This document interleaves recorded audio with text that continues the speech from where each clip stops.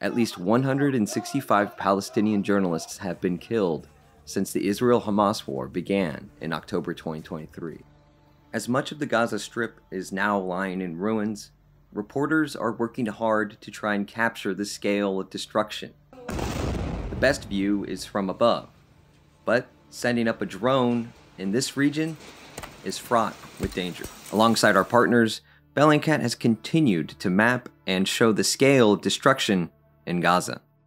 High resolution satellite imagery, such as that from Planet Labs, remains one of the most accessible ways to observe destruction in Rafah, which borders Egypt.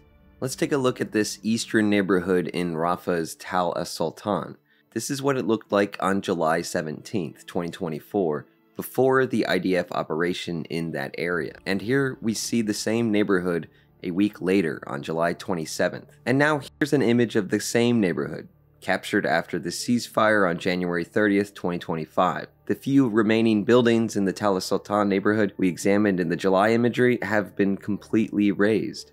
The small village of Al Qarya al Swedia, or the Swedish village on the coast, was wiped out completely in June 2024. It then appeared to become a staging area for IDF troops. January 2025 imagery shows a communications pylon has been set up and IDF vehicles continue to park there. The Brazil refugee camp and the wider Al Salam neighborhood in South Rafah followed a similar pattern of destruction.